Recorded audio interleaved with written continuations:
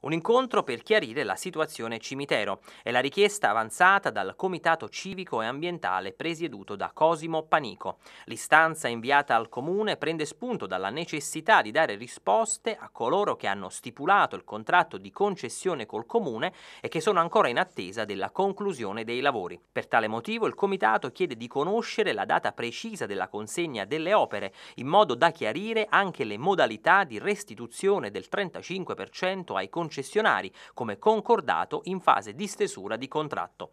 Una richiesta già avanzata un mese fa e che non ha ricevuto risposta. Se costretti, spiega Panico, adiremo le vie legali.